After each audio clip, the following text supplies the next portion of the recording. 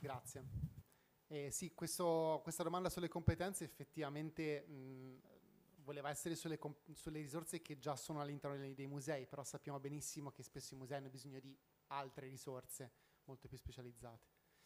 E, mh, qualcun altro vuole contribuire, magari raccontandoci un po' l'esperienza del proprio museo, della propria istituzione?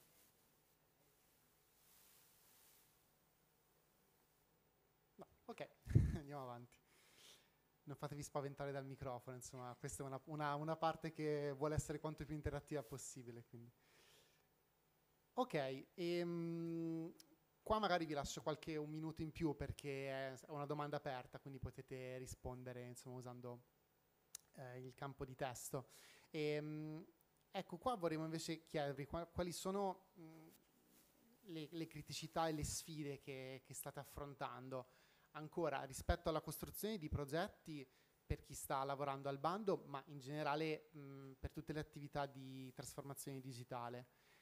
Quindi mh, abbiamo parlato adesso di eh, risorse, eh, che è sicuramente un tema, quindi carenza di risorse umane all'interno dei musei, ma ci sono anche altre criticità, altre barriere, sia interne ai vostri, alle vostre istituzioni che anche esterne che vedete tranquilli, le risposte che inviate sono anonime poi sul sullo schermo, quindi...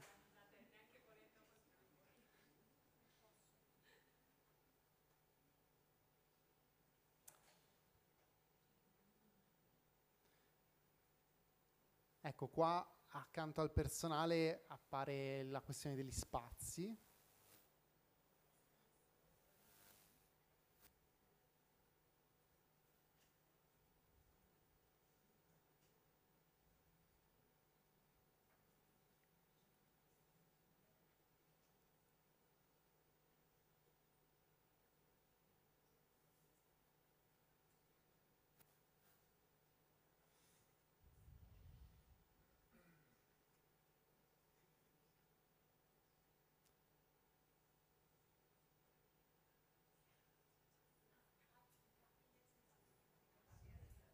Sì, sì, capi, capi, arretrati per me era molto chiara, sì, sì, chi...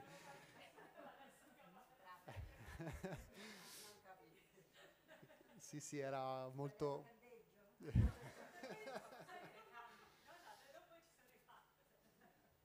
ecco, vedo già una risposta interessante, mancanza, mancanza di un linguaggio comune. E, ehm, non so se chi ha lasciato questa risposta, intanto che gli altri continuano a rispondere, o anche qualcun altro che la percepisce come un, insomma, qualcosa di vicino alla sua esperienza, si vuole contribuire. Ah sì, si può scorrere, scusate. Credo che voi potete vedere le, tutte le risposte dopo che avete lasciato la vostra, credo.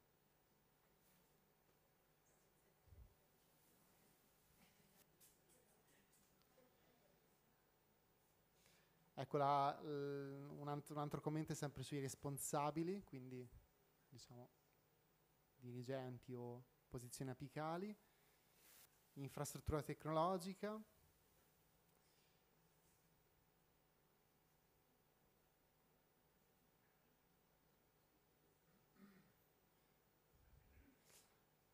Poi sul personale, ad esempio qua in una risposta c'è un, un, approfondimento sul personale amministrativo, quindi magari un discorso anche legislativo, scorro. Eh.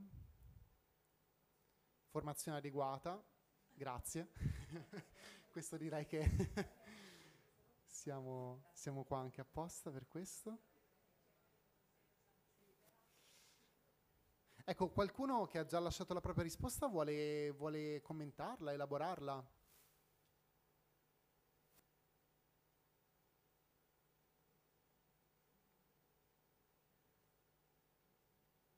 Magari provo a farvi un'altra domanda collegata a questa. Mm, le barriere che, le sfide che percepite sono più interne alle vostre organizzazioni o più esterne?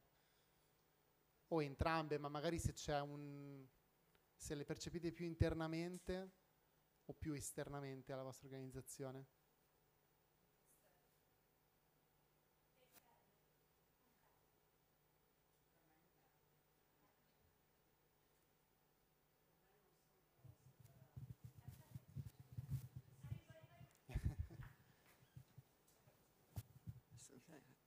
Dicevo che per me non sono separabili interne e esterne perché chiaramente eh, se ci sono problemi di linea lenta non è dovuto a un problema interno, è dovuto a un problema esterno, cioè a mancanza di fondi anche o mancanza di personale non si può dire un problema interno perché chiaramente con il fatto che ci si debba occupare sempre un po' di tutto bisogna dare delle priorità se arrivano dei visitatori chiaramente non, non, io per esempio mi occupo principalmente di grafica o di o anche dovrei occuparmi di, del, diciamo, della didattica, però è difficile seguire tutto ed avere il tempo per tutto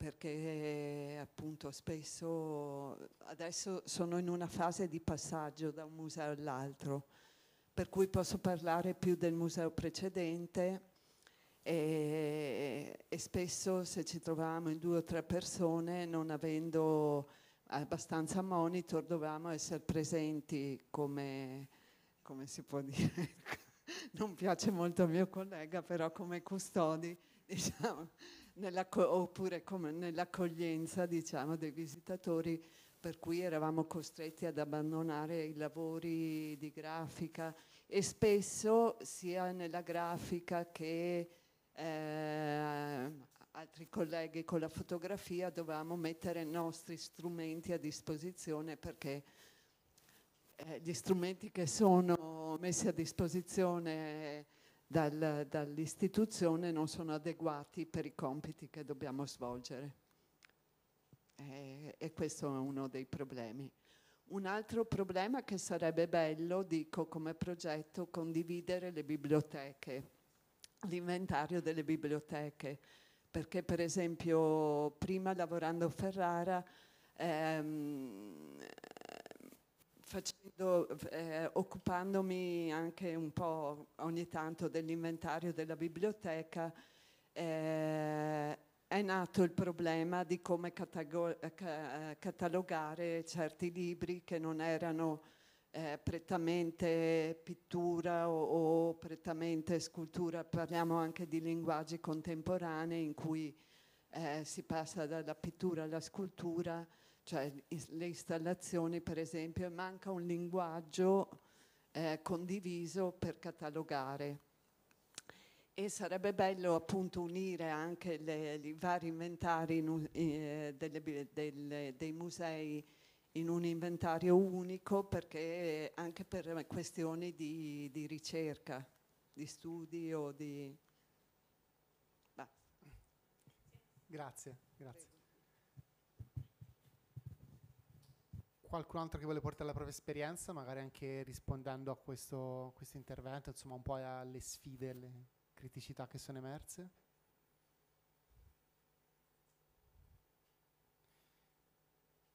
Faccio un'ultima domanda, poi passerei alla prossima. E, um, questo commento mancanza di un linguaggio comune, quindi sulla transizione digitale, quanti di voi in sala, vedo un po' di facce che stanno annuendo, quanti si ritrovano in questa, in questa criticità?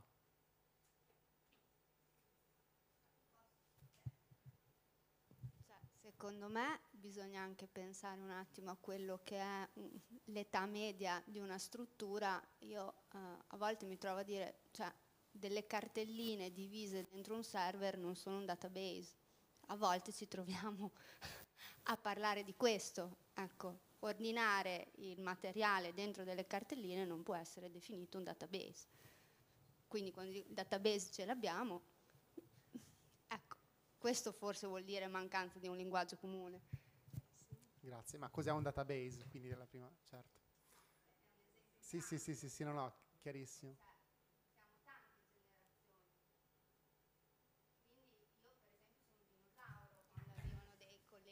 Cioè, io per esempio non uso i social, quindi io, perché mm, sono già un dinosauro, quindi bisogna creare un linguaggio comune anche tra le varie età e sensibilità che sono dentro un ente. Quindi cioè, secondo me è scontato cos'è un database, secondo altri colleghi no, così come mi dice boh, fai un post e dico eh, cioè è difficile, ecco. Si può parlare di digitalizzazione, di innovazione, però tra il personale di un ente o più enti ci deve essere un linguaggio comune, ma anche una formazione comune, se no fai fatica anche a fare rete. Giustissimo, grazie. Ok, se non ci sono altri commenti passerei alla prossima domanda. E, ehm, ecco, qua invece vorremmo chiedervi mh, quale tipo di partnership, alleanze, reti state costruendo, avete intenzione di costruire per la transizione digitale della vostra organizzazione. Quindi mh, prima è stato menzionato che mh, insomma, avete già iniziato a ricevere dei, anche delle proposte, o, insomma avete già iniziato a creare delle collaborazioni, ma con chi, con quale tipo di enti? Ehm? Sia di fornitura che di partenariato, quindi diciamo in, in entrambi i livelli.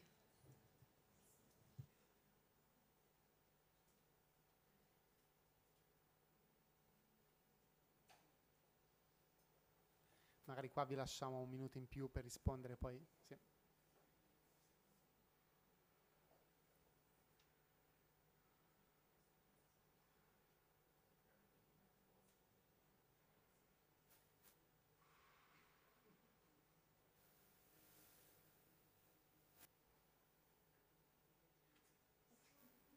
per parafrasare la domanda, chi vi serve per iniziare un certo tipo di percorso all'interno del vostro museo?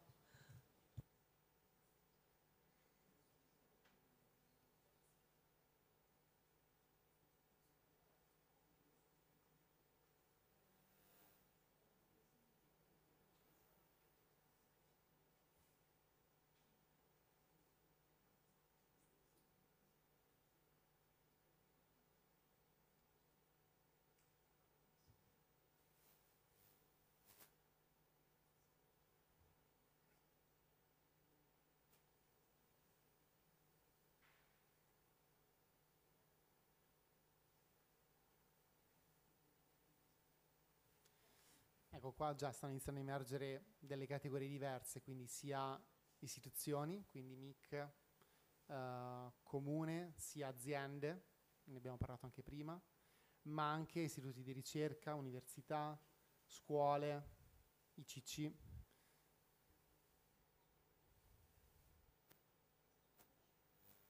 Le scuole in, in che senso? Per, per quale aspetto? Una mia curiosità vedendolo in un paio di risposte.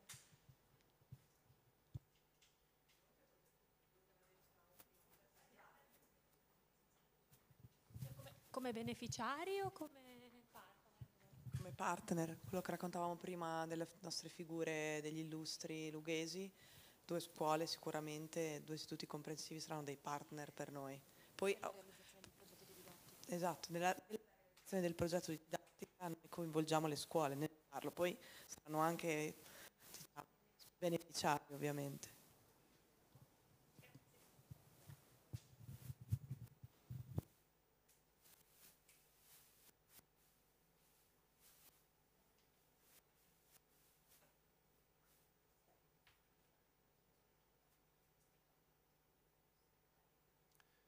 Ok, qualcuno vuole iniziare un po' a commentare magari su questo? Ci sono un po' meno risposte?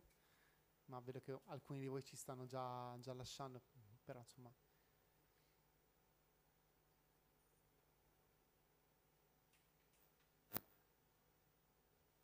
Possiamo passare?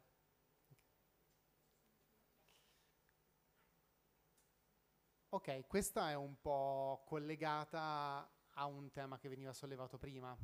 Quindi prima vi abbiamo chiesto quali competenze mancassero all'interno del vostro personale, de, delle vostre risorse che già avete, e qua invece di nuove figure professionali, cioè chi vorreste integrare all'interno della vostra organizzazione, di chi avete bisogno.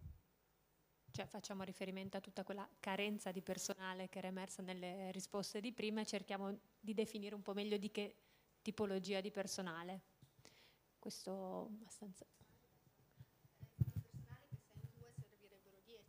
Ok, e proviamo anche a dare una, mm, diciamo, una descrizione qualitativa, di funzione forse di questo, di questo tipo di risorse. Qua è ovviamente su il tema, il fil rouge di questa conversazione, quindi sulla transizione digitale. Quindi ovviamente rispetto alla transizione digitale, quali figure um, vorreste integrare all'interno del vostro staff?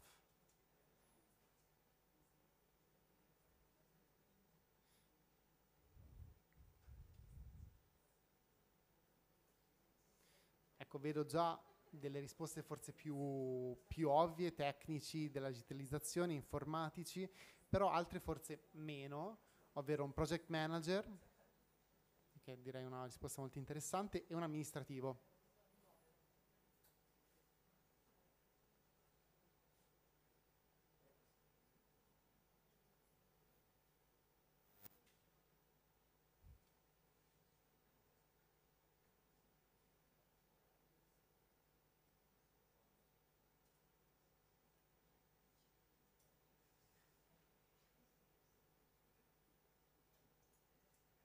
Queste risposte sono in coerenza con le risposte alla prima domanda, no? che i servizi di dig- digitalizzazione più richiesti, tra virgolette, erano quelli che puntavano alla digitalizzazione, mi sembra che, che questa risposta sia in, in coerenza. Ecco. Comunque professionalità tecniche, mi sembra. Arrivo.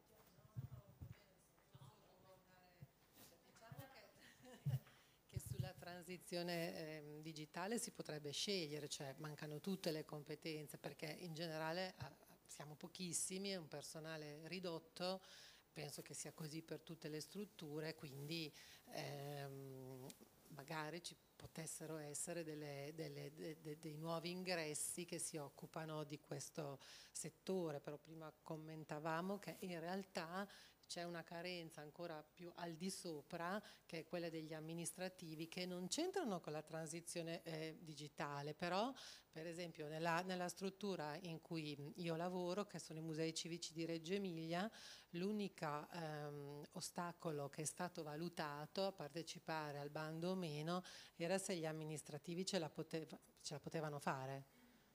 Ed è stato chiesto a loro partecipiamo o non partecipiamo non hanno ancora risposto, però risponderanno di sì, però ce lo stanno facendo sudare, nel senso che non c'entrano, però poi c'entrano perché alla fine il lavoro lo mandano avanti queste figure, quindi... Gatekeeping serissimo questo degli amministrativi.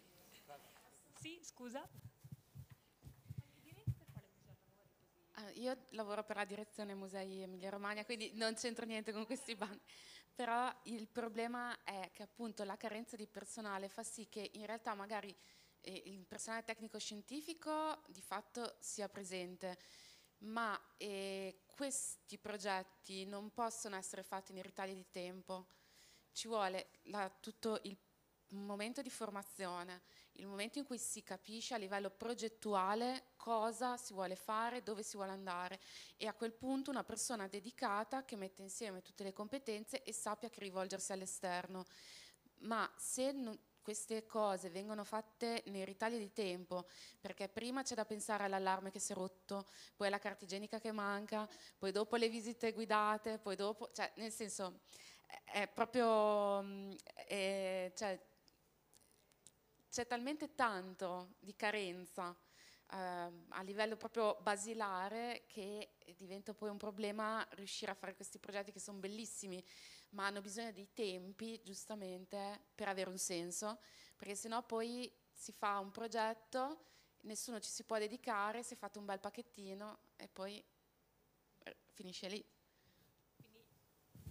del project management e coordinatore, quindi chi riesce a tenere le fila, poi trova i fornitori, convince l'amministrativo, fa accadere le cose.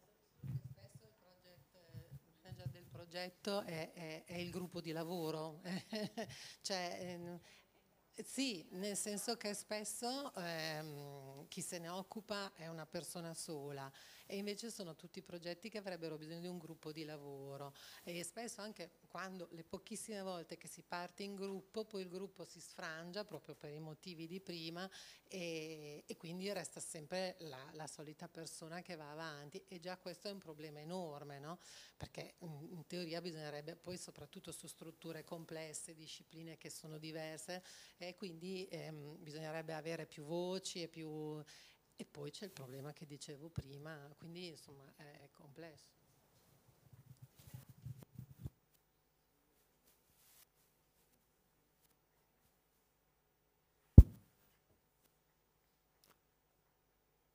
Ok, qualche risposta anche sul lato comunicazione, vedo social media manager, esperto in comunicazione e storytelling, quindi un altro tema che è emerso.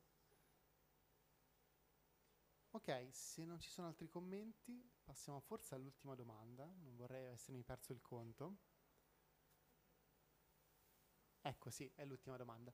E, um, ecco, oltre il bando che, insomma, di cui abbiamo parlato, mh, e oltre, insomma, diciamo, quali altre misure o interventi a un livello più alto, quindi a livello più istituzionale, potrebbero essere utili per la vostra organizzazione?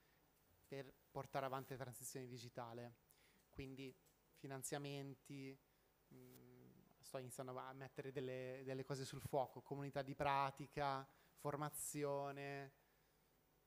Un impianto strategico condiviso, prima si parlava forse della, non dico cecità, però insomma di a, alcuni referenti apicali dal punto di vista della strategia c'è qualcosa che magari anche a un livello superiore rispetto al vostro museo c'è qualcosa che vorreste vedere accadere per facilitare questo tipo di processo?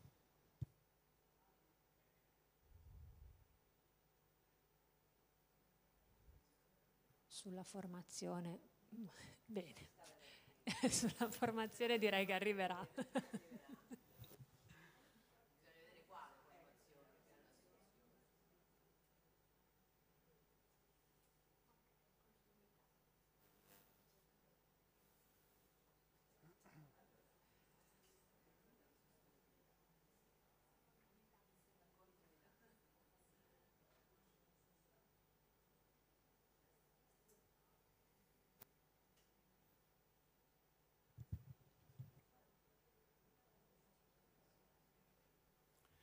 Ecco, qua una, una risposta porta, porta, il tema del, degli interventi, finanziamenti occasionali versus strutturali, quindi mh, mm, non so se chi ha lasciato questa risposta vuole commentare.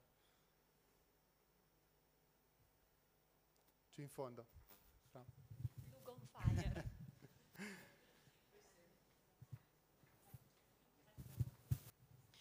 Nel senso che questo è il problema degli istituti di cultura in generale, pubblici e privati. Eh, sempre più eh, i bandi servono a realizzare nuovo, a costruire nuove eh, progettazioni, nuovi risultati, quando l'ordinario è sempre in affanno indietro. C'era un modo forse un po' provocatorio per ricordare che eh, anche un piano di digitalizzazione così importante arriva dopo anni e anni in cui non, non, sta, non, è, non, è, stato possibile curare l'ordinario nel patrimonio. E per noi, per esempio, un problema enorme è la catalogazione del patrimonio culturale, cioè ehm, là dove una biblioteca è obbligata a catalogare per poter rendere fruibile il suo patrimonio, un archivio comunale eh, magari è più in difficoltà sulla parte storica e eh, sono diversi anni che non si lavora su eh, piani eh, regionali di catalogazione, non ci sono risorse per farlo, ma mancano le risorse anche in termini di personale. E ehm, in un momento come questo, vedere arrivare una quantità così smisurata di denaro per la digitalizzazione, quando eh, le fondamenta traballano, eh, fa quasi rabbia in certi momenti, cioè mh, siamo contentissimi che ci siano, meglio averli che non averli, però con tutto il pregresso di danno che è stato fatto da anni di mancati finanziamenti anche a livello dello Stato, è, è dura comunque. E poi, scusate se mi permetto anche la nota di pietismo, ma venendo dalla Romagna, noi ci siamo anche beccati un'alluvione dover gestire contemporaneamente gli edifici che sono eh, allagati, le montagne di libri da buttare, eh, i musei che vanno restaurati e allo stesso tempo dover gestire la digitalizzazione e siamo sempre noi quattro a gestircela, non è proprio facilissimo. Poi si riesce a far tutto perché abbiamo voglia, entusiasmo e tutto quanto e, e riusciamo a funzionare però eh, un discorso serio, non soltanto a livello di regione che fa quello che può, ma proprio a livello anche europeo, su questi finanziamenti che arrivano esclusivamente per il nuovo, per la novità e non pensano a mantenere ciò che di buono esiste già negli istituti culturali e, e da rifletterci. Ecco. No, grazie Posso fare io una domanda provocatoria? Quindi la digitalizzazione o quantomeno la trasformazione digitale non la vedi come un um, rafforzamento delle basi? Ok.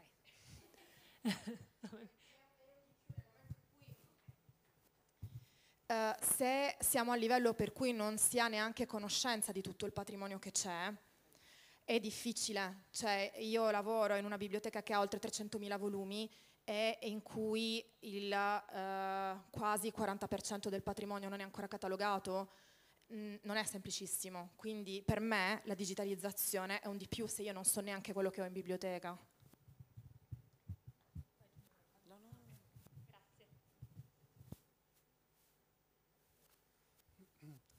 Qualcuno che condivide o, o non condivide questa posizione magari?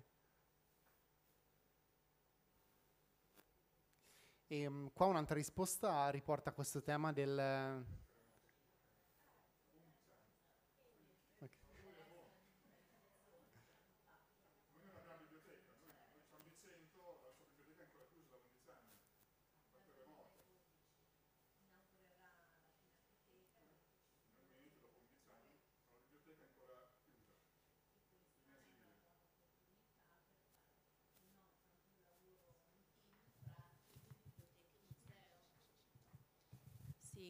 concordiamo appieno con quello che ha detto la collega di Lugo, perché noi a Cento eh, non abbiamo ancora la biblioteca, eh, è ancora inagibile scusate, dal sisma del 2012. Di conseguenza la digitalizzazione ovviamente ci fa comodo, però è la base che manca.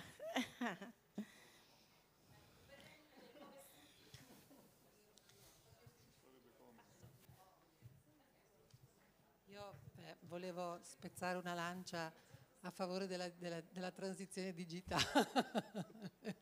no, nel senso che per me, ma forse sono anche un po' condizionata dal lavoro che faccio, eh, il digitale offre un'infinità di possibilità anche dal punto di vista della comunicazione e questo noi dobbiamo tenere presente che un buon eh, impatto sulla comunicazione se un eh, eh istituto eh, culturale riesce a farlo e quindi ci sono anche le professionalità che si occupano di comunicazione da tenere presente, dà una grande opportunità ehm, con ehm, le sponsorizzazioni, perché questo è un tema che mh, noi facciamo molta fatica a tenere presente anche quando andiamo a costruire un progetto.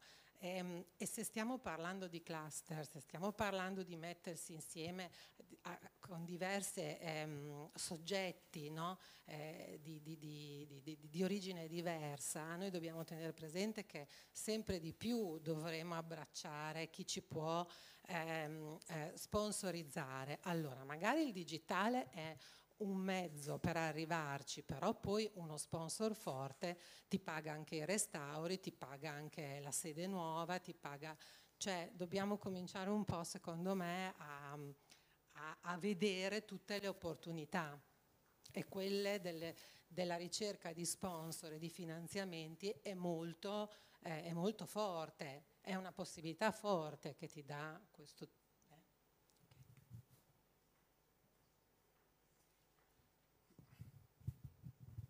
Eh, sì, un'ultima nota su uno di, uno di, questi commenti invece porta lo stesso tema, quindi su finanziamenti diciamo occasionali o più strutturali, lo porta anche sul tema della formazione. e quindi formazione occasionale, cioè meno formazione occasionale, più formazione costante.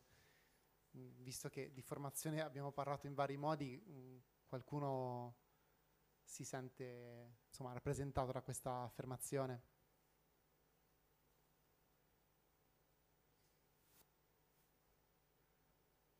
Beh, di formazione ce ne sarà molta. Nei prossimi anni, questo possiamo dirlo soprattutto su questo tema, ecco, quindi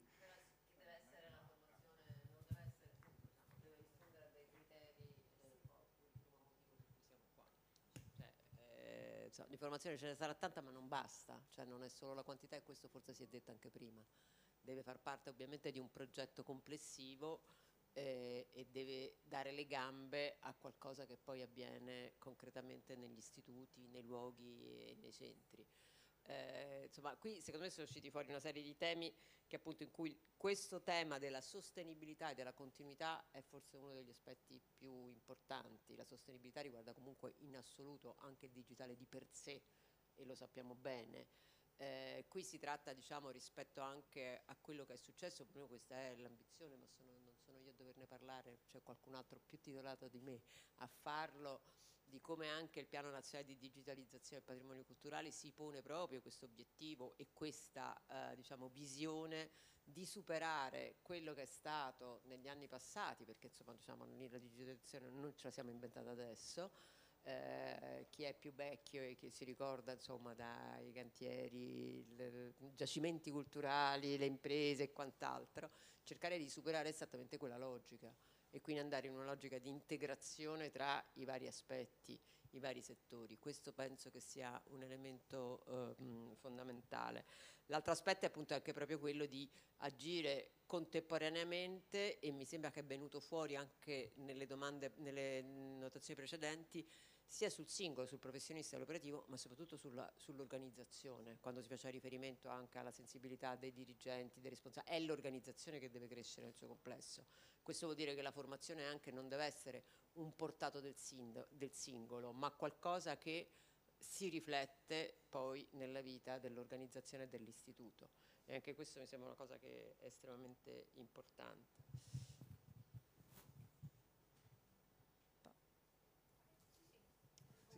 Noi abbiamo concluso. Ah, possiamo, sì, io raccolgo